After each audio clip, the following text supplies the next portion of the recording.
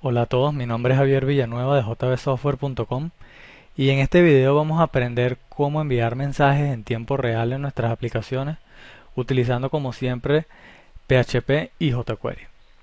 Entonces vamos a empezar. Antes que nada les voy a mencionar un poco la aplicación o mejor dicho la librería que vamos a utilizar se llama Pusher, se puede descargar de pusher.com y básicamente nos permite, como les mencioné anteriormente, enviar mensajes en tiempo real. Por ejemplo, si tienen una aplicación de un estilo como un chat o por ejemplo como tienen en la página de Facebook que cuando alguien publica un comentario o deja un mensaje en alguna foto, no es necesario que recarguemos la página para poder verlo, sino que los mensajes se van publicando automáticamente a medida que las personas los van dejando. Esto anteriormente se tenía que hacer con JavaScript.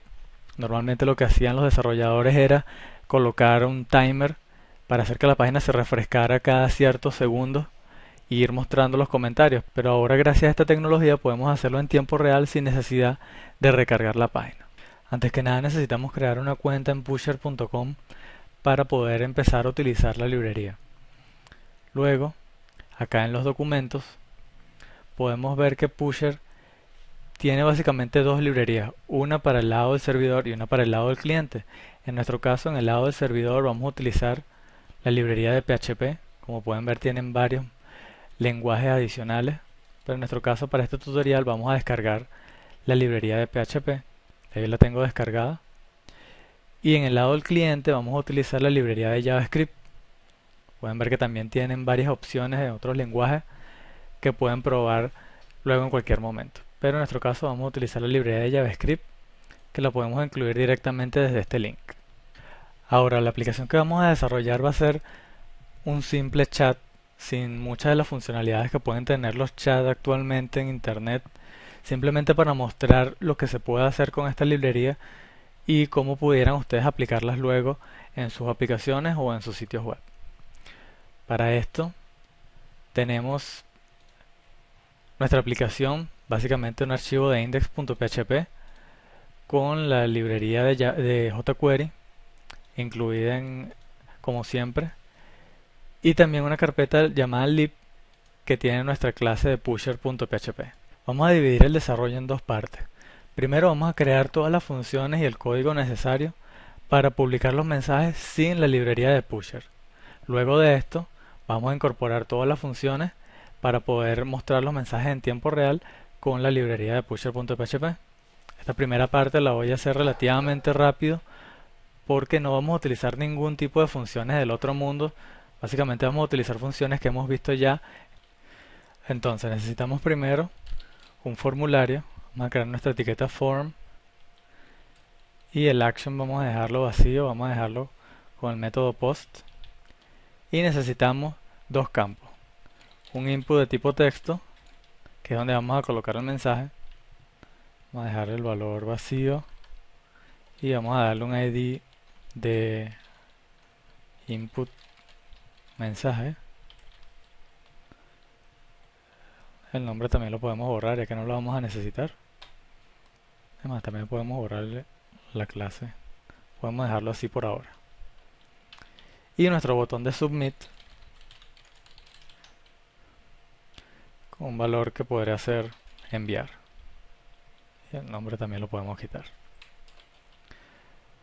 también necesitamos un lugar donde se van a mostrar los mensajes. Vamos a crear una lista con la clase de comentarios. O mejor vamos a darle un ID. Que es mucho mejor. Y por ahora va a estar vacío. Simplemente aquí vamos a ir mostrando los comentarios que se van a ir publicando con nuestro formulario. Aquí van a ir comentarios. Aquí. Ok, vamos a ver cómo se ve por ahora en nuestro navegador. Refrescamos y muy bien. No vamos a pedir el nombre de usuario ni nada de esto, simplemente vamos a colocar el mensaje ya que para este tutorial no va a ser necesario. Ahora vamos a crear las funciones de JavaScript para publicar el mensaje nuevo. Creamos nuestra etiqueta script y colocamos function para empezar nuestro código de jQuery y le decimos que nuestro formulario la mejor práctica es colocarle un ID al formulario y llamarlo desde acá, pero para este tutorial no creo que sea muy necesario. Colocamos el evento submit para decirle a jQuery que cada vez que el formulario se envíe, corre el código que vamos a colocar acá adentro. function. Ups. Ok. Vamos a utilizar el método post para enviar la información del formulario con Ajax. Vamos a crear un archivo que se llama ajax.php que todavía no lo hemos creado. Y le vamos a enviar un solo parámetro. Vamos a colocar el nombre msj que va a ser simplemente nuestro input mensaje y con el método val obtenemos el valor. Simplemente estamos enviando el valor o el texto que tengamos colocado en el input con la variable msj a nuestro archivo ajax.php. Luego colocamos nuestra función que va a ser el callback. Vamos a dejarla vacío por ahora. Y por último vamos a especificar que el tipo de información que va a recibir es en formato JSON.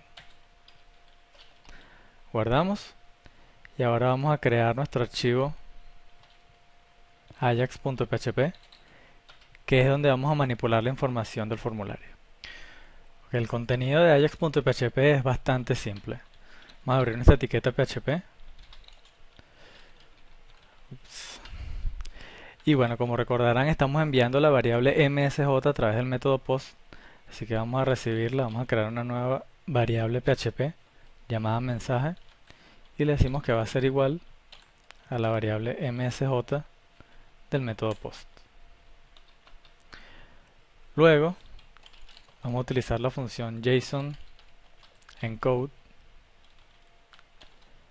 para pasar esta variable de formato string o en formato cadena que tiene actualmente a formato JSON y devolverla para que nuestra función de JavaScript pueda manipularla después. Vamos a pasarle un array y le decimos que la variable mensaje va a ser igual a nuestra variable mensaje. Y esto es todo. Ahora volvemos a nuestro archivo de index y en la función de callback que habíamos dejado por ahora vacío le vamos a colocar que nuestro, nuestra lista, le colocamos el nombre de comentarios, vamos a utilizar la función append para que jQuery le agregue el elemento que le vamos a colocar acá a la lista. Y le decimos que le va a colocar un ítem con el valor que le estamos devolviendo de nuestro archivo ajax.php acá se me olvidó colocar la variable respuesta. Esta variable puede tener el nombre que ustedes quieren pero es necesario para poder manipular la respuesta del archivo de ajax y le decimos respuesta punto el nombre de la variable que le dimos que como recuerdan se llama mensaje. Colocamos mensaje. Y para terminar luego de nuestra función post necesitamos devolver el valor de false.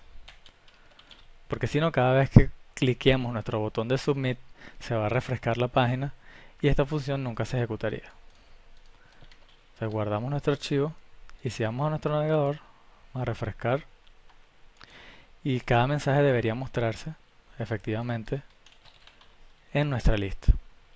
Ahora, como no hemos utilizado nuestra función o la librería de pusher, por ejemplo, si abrimos otro navegador y colocamos el mensaje, como pueden ver, ninguno de ellos dos está viendo el mensaje en tiempo real.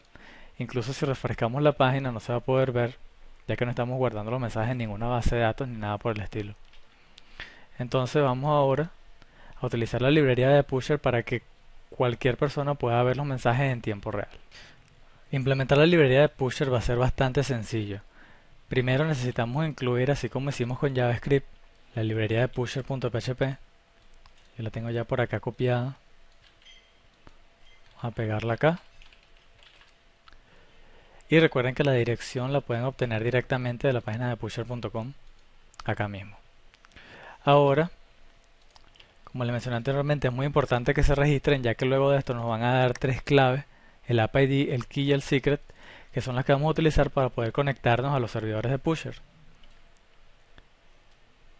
Entonces, sabiendo esto, vamos primero a colocar el código del lado del cliente, el código JavaScript. Vamos a crear una variable llamada pusher que va a ser un nuevo objeto llamado pusher que acepta un parámetro, el cual es nuestra clave key. La copiamos y la pegamos directamente. Ahora creamos una nueva variable, vamos a llamarla canal,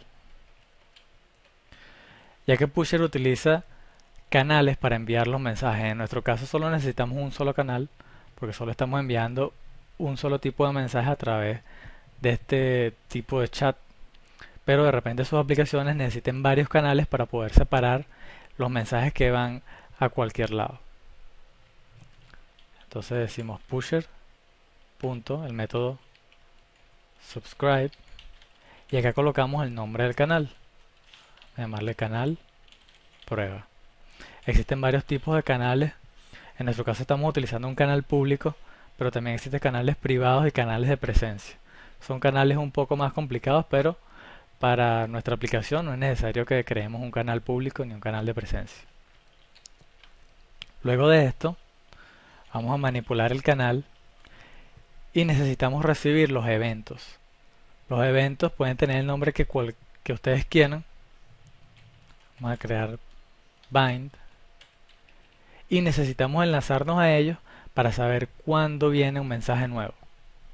Vamos a colocarlo en el código para que se vea un poco mejor porque la explicación es un poco puede ser un poco enredada. Vamos a crear un evento nuevo que se llame nuevo comentario. Esto puede tener el nombre que ustedes quieran. Y luego el segundo parámetro es la función de callback que al igual que el método Ajax recibe una respuesta de nuestro servidor. Acá podemos copiar y pegar tal cual la función que tenemos en nuestro en nuestro método Ajax porque básicamente estamos haciendo lo mismo. Cada vez que se crea un nuevo comentario vamos a colocarlo en nuestra lista.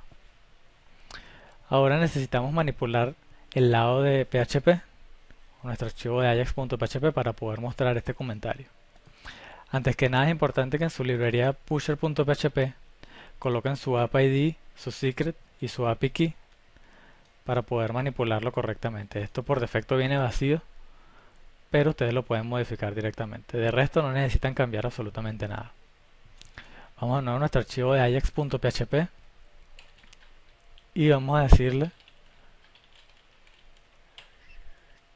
un require de la librería de pusher ya que antes no la estábamos utilizando. Y luego nuestra variable mensaje necesitamos decirle que vamos a utilizar un nuevo objeto de pusher. Lo llamamos con el método pusher instance get pusher. Hay básicamente dos maneras de llamar o de crear un nuevo objeto de tipo pusher en PHP. Pueden llamarlo de esta manera si colocaron sus credenciales como lo hice yo directamente en el archivo pusher.php o si no lo han hecho pueden crear una variable y decirle new pusher y colocar sus credenciales acá. Sería su app id su secret y su API key. Y funcionaría exactamente igual pero en mi caso como yo los coloqué ya dentro del archivo de pusher.php los puedes llamar así. Ahora vamos a llamar al método trigger. Este método acepta varios parámetros, vamos a abrirlo así para que se vea mucho mejor. Y básicamente este es el método que va a enviar el evento nuevo para que nuestra función de JavaScript se ejecute cada vez que el mensaje sea enviado. Vamos a abrir nuestro archivo de index lado a lado. Vamos a cerrar acá para que se vea un poco mejor las variables. Los parámetros que este acepta en el orden son el nombre del canal, como ya lo creamos anteriormente, se llama canal prueba. Luego el nombre del evento que vamos a enviar, que se llama nuevo comentario. En el tercer parámetro colocamos los datos que vamos a enviar a nuestra función JavaScript. En nuestro caso podemos copiar tal cual los datos que estamos enviando en la función JSON encode. Y acá no es necesario que utilicemos JSON encode ya que automáticamente el método trigger convierte estos valores en formato JSON. Y por ahora podemos dejarlo así. Lo que está sucediendo ahora es lo siguiente. Cada vez que enviemos un mensaje, va a ir a nuestro archivo ajax.php. Se va a crear un nuevo objeto de tipo pusher y se va a ejecutar el evento trigger. Entonces a través del canal prueba se va a enviar el nuevo evento llamado nuevo comentario con el mensaje en formato JSON. Entonces, al haberse ejecutado este evento, nuestra función de nuevo comentario se va a ejecutar y va a tomar la respuesta con el mensaje y la va a agregar a nuestra lista de comentarios. Tal cual como lo estamos haciendo o como lo hicimos anteriormente, solo que ahora lo va a hacer en tiempo real. Ahora, si guardamos nuestro archivo y vamos a nuestro navegador, vamos a refrescar y vamos a mostrar los dos navegadores. Y ahora, si todo sale bien, deberíamos poder mostrar un mensaje acá. Y efectivamente se va a mostrar en tiempo real en el otro navegador. Pero se pueden dar cuenta que en el navegador donde se muestra el mensaje se muestra duplicado. Y esto es debido a que estamos utilizando dos funciones, tanto la función de submit para mostrar el comentario como la función de pusher para colocarlo en tiempo real.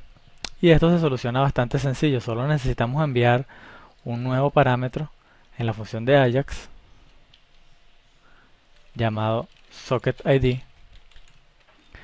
y esto es una variable que utiliza pusher para darle un ID específico a cada mensaje de tal manera que cada vez que se muestre no se muestre duplicado.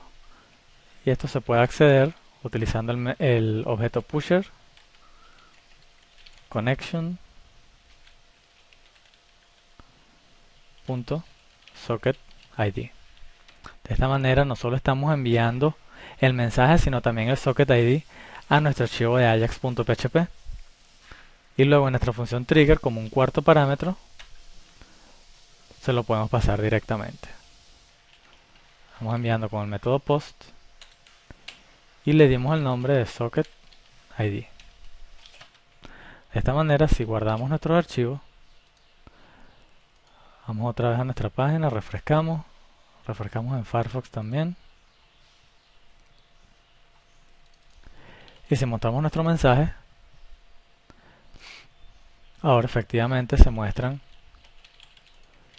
solamente una sola vez y en tiempo real sin necesidad de utilizar ningún tipo de código super especial ni nada por el estilo. Y bueno, espero que este tutorial haya sido de bastante utilidad. Considero que esta es una librería de las más importantes o de las más útiles que he descubierto eh, por lo menos en los últimos meses. Y bueno, espero que para ustedes lo sea también. Muchas gracias y bueno, hasta luego.